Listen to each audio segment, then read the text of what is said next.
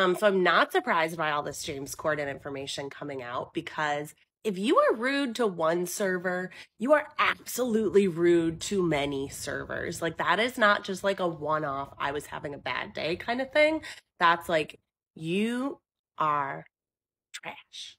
So here's my James Corden story.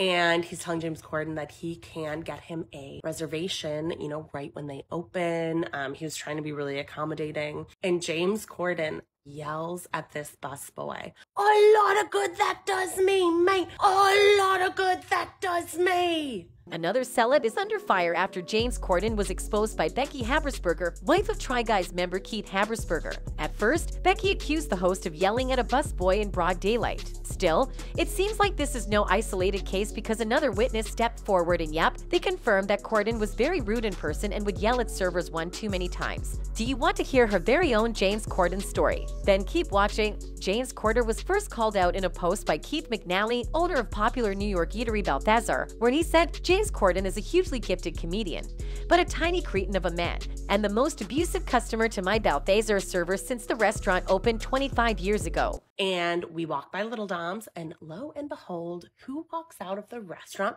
None other than James Corden. And I'm like, oh my God, celebrity sighting. I've got it in my head. Um, as I'm approaching, I hear James Corden yelling at this busboy.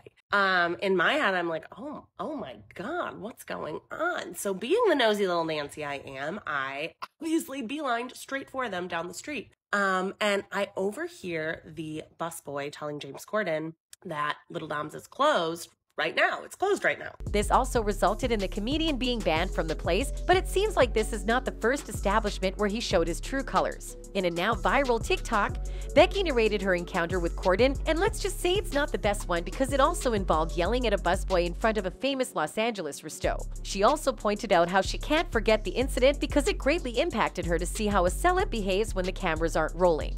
Um, and I don't think James Corden is sorry because if he was really sorry, he would have apologized to the server and not the owner of the restaurant. At the end of the video, she spilled more tea and mentioned how she didn't believe that the comedian felt guilty about what he did because he didn't apologize to the server in the first place. Soon enough, comments about James Corden's rude attitude flooded the internet, and it's pretty obvious not everyone is happy about how he acted. One fan in the comments said, unless you're a celeb on his Gap show, James Corden has no patience for you. Another added, James has a reputation in general. His former co-stars, Koulios Samlasnal, had cut ties with him.